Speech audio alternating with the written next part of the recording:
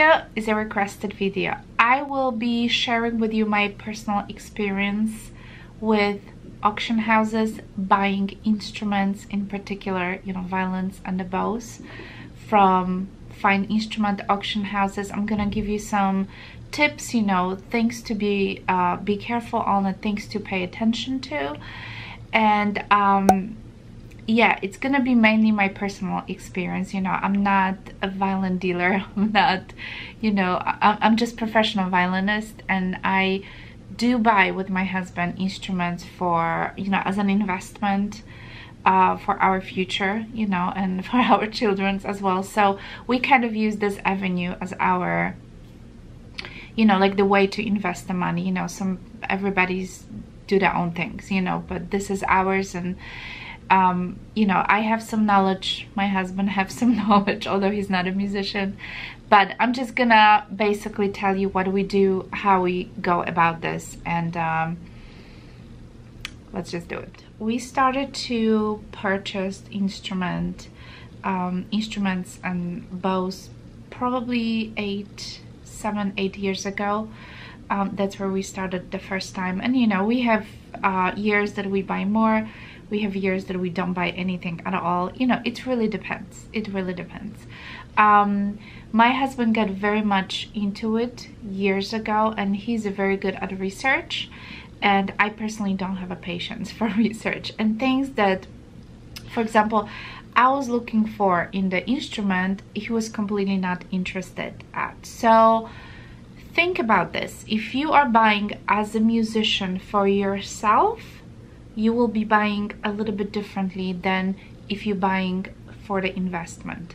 So I'm gonna give you um, you know some tips obviously but then I'm gonna split because some things are just not you know going you know in the same way. So there are certain things that you're gonna pay attention to as you buy purely for investment. There are certain things that you're gonna pay attention to when you buy just for yourself or as a musician for a musician all right so let's start with where to buy. Let's say if you're ready to buy first of all where to buy those instruments. Um, and the bows there is many many many auctions around the world okay? In my opinion one of the best and the most known is Tarisio auction. Tarisio auction is probably the most reliable at the same time. They just grew expanded tremendously. And um, they are having Tarisio in London so that's like a European branch and then obviously Tarisio New York. Um, others auctions that we purchased from and I have some notes in here is the Bromptons. That's another pretty big auction. Ingles and Hayday I'm pretty sure those are located in England as well. Vichy that's the one that it's located in France and we did purchase one of the French uh, bows and I recently did the video about the French bows so you might go ahead and I'll link it up there. Um, go check it out. And there's many many many others you know Skinners there's Amati. We don't we didn't purchase from all of them obviously but you know there is way more. It's just I think like Tarisio Brompton's Ingles Hayday you know Vichy those are the ones that in my opinion are a little bit more reliable and trustworthy so the next thing that it's super important is the fact that you need to have a budget. In the past everything what we purchased you just have to have money ready on your account. So stick to your budget. Um, but keep in mind also that sometimes uh, you know when you buy from the auctions many many many times you can buy the particular instrument that you're looking for under the retail value. So that's why I feel like buying from auction is kind of a good avenue because yes you can overpay. That's why you have to do your homework. But many times you can actually buy it cheaper than you would buy from the dealer.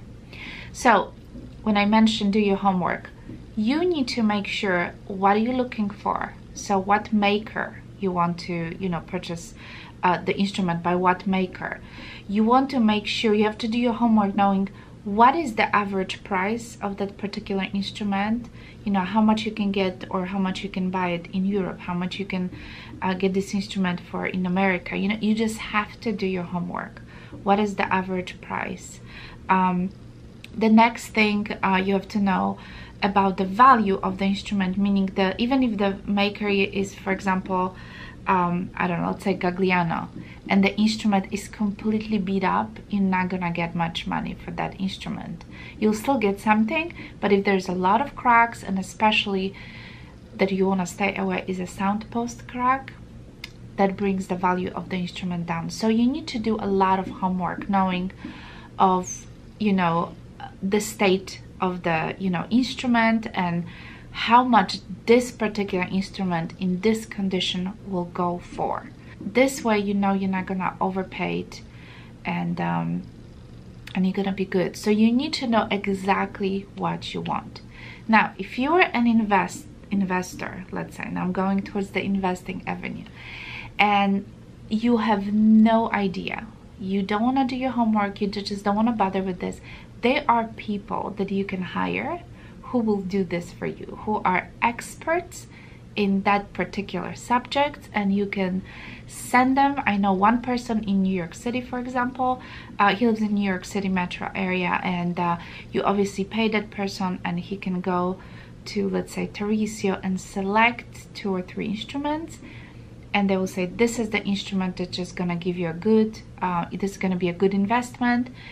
Go for it. Because as an investor you don't necessarily how should I put it not to offend anybody not to offend any musician as an investor they don't necessarily care much about the sound of the instrument as much as the maker who is who made the instrument and the condition. The condition of the instrument is super super super important.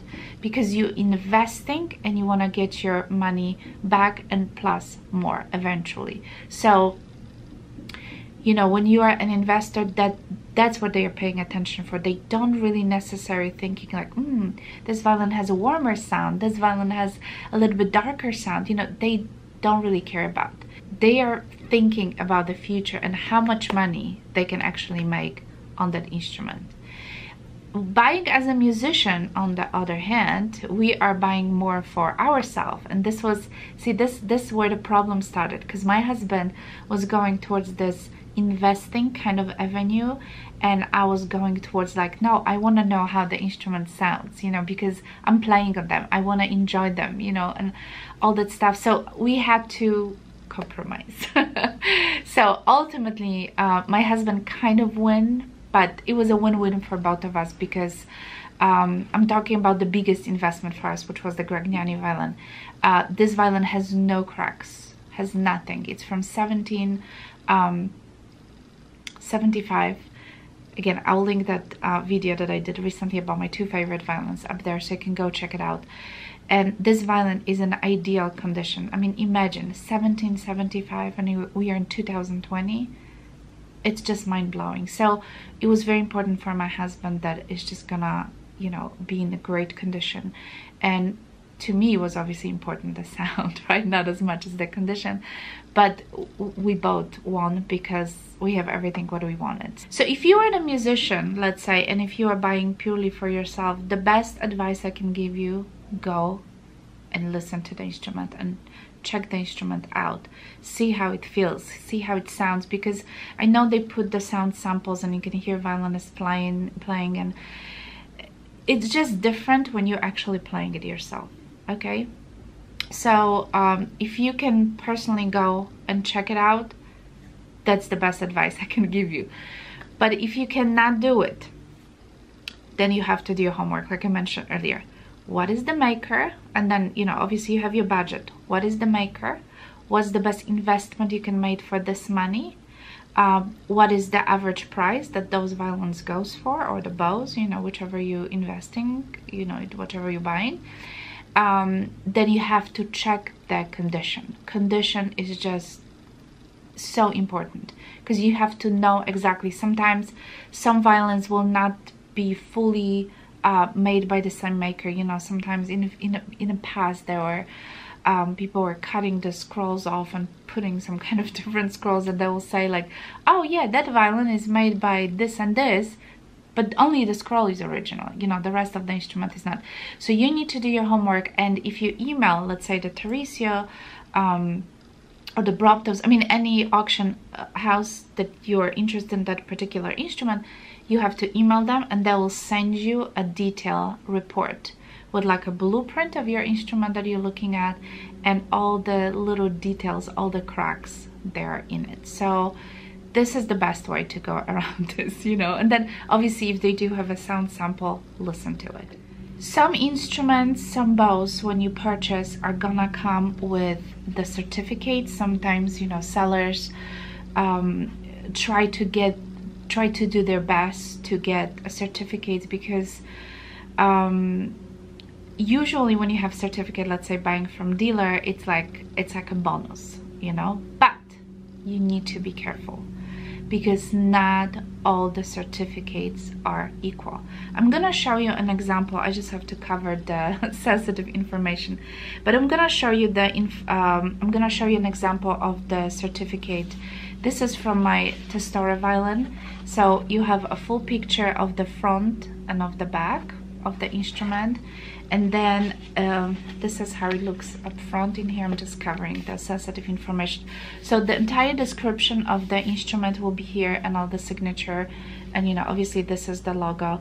And what I said earlier the and keep in mind that all the certificates are not equal depend who is also the person who is giving you the certificate who is saying that hey i am an expert and i know exactly what it is.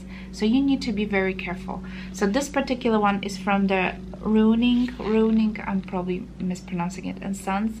This is a very good um, person to ask certificate for to ask for the certificate.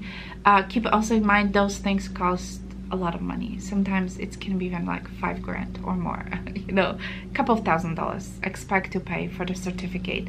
Um, so you have to be very careful. Um, another one that I'm gonna show you, um, this is from the Peccatte bow that we've purchased. Um, this is, this certificate, so again, you see the bow in here and then this is all in French all this information is in here this is no there's no personal information on this one um, but this one is for example issued by Mr. Raffin Mr. Raffin is an expert when it comes to the French bows when you show the certificate or if you let's say if I want to sell this bow at Tarisio and I bring the, this certificate no one is going to even question the authenticity of this bow that's how important this person is so again you can have a certificate from I don't know Mr. Jones who has a dealership or he's a, a violin maker and it's just gonna mean nothing okay and then you have certificate from Mr. Raffin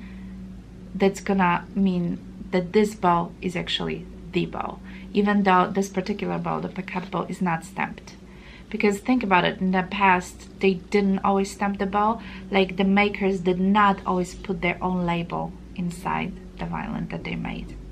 So the next thing I want to mention is the online library online archives. This is something that is super helpful when it comes to educating yourself before you make any purchase before you invest any large amount of money. So for example the first one that I'm looking here at on my iPad this the first one is from Tarisio and this is basically the world's largest reference resource library for buyers.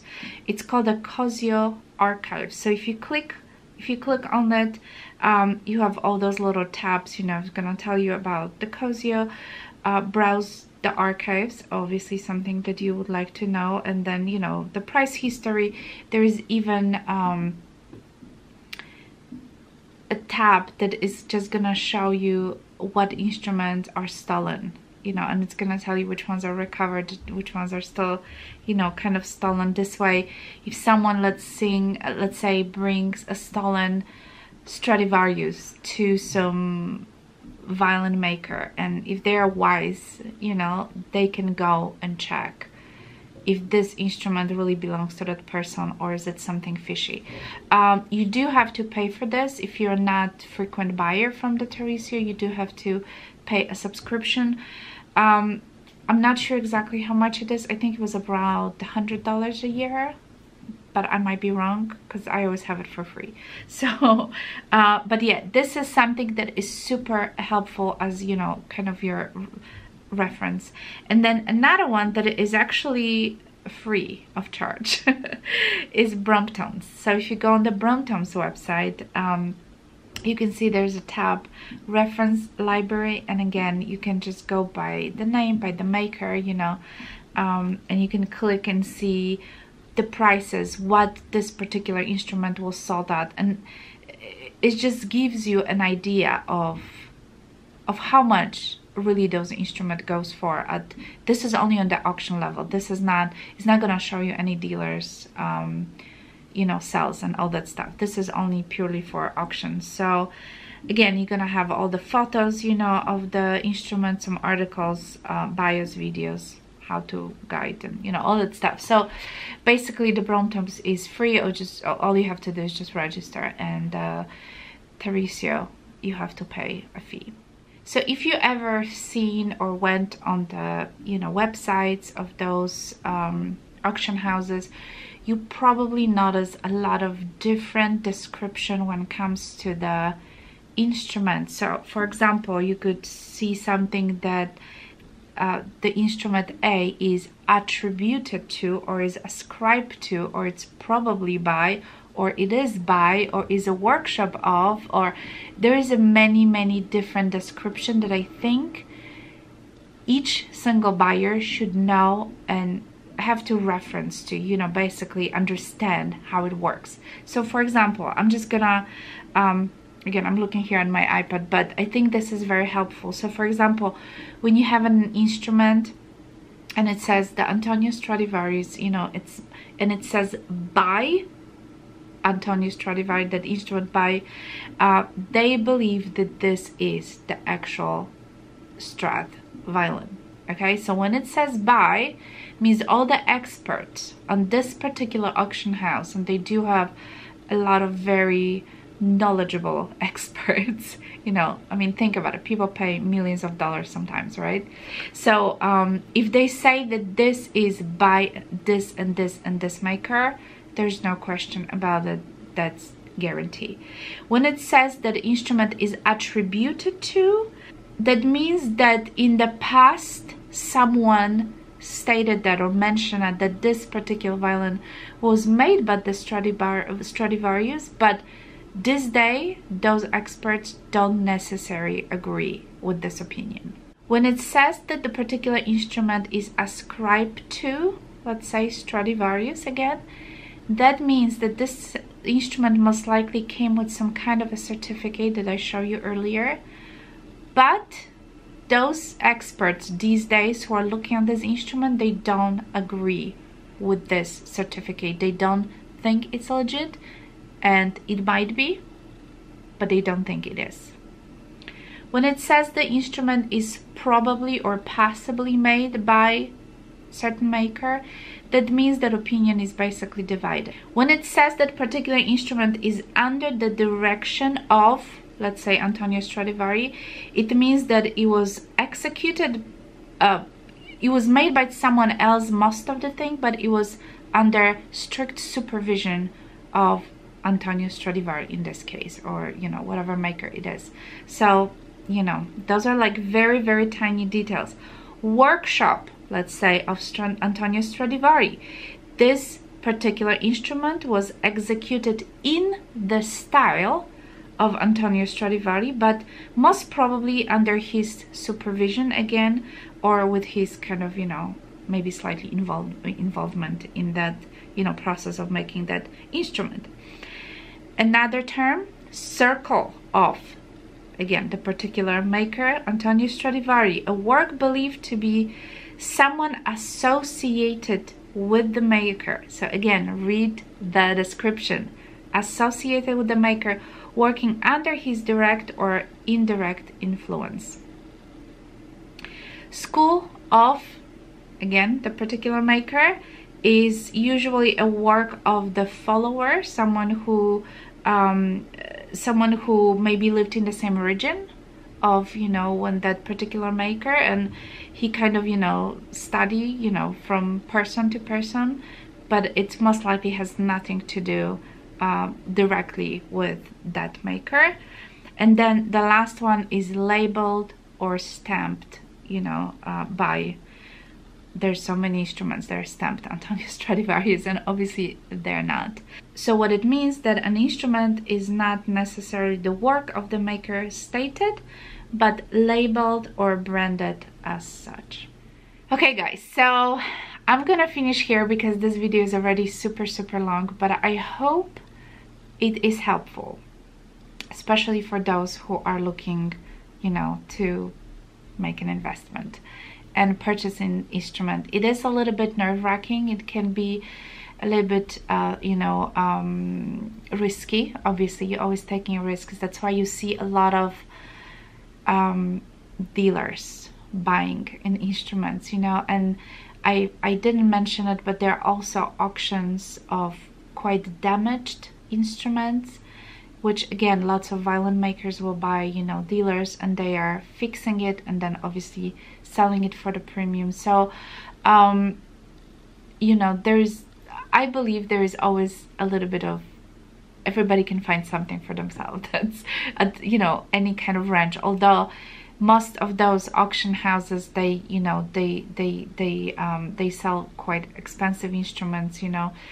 Um so if you're looking to buy a thousand or two thousand dollar violin that's not gonna even be a you know fully made handmade instrument. So i'm talking about the instruments that are in thousands of dollars you know and bows and all of that. So and it goes up to the millions so yeah.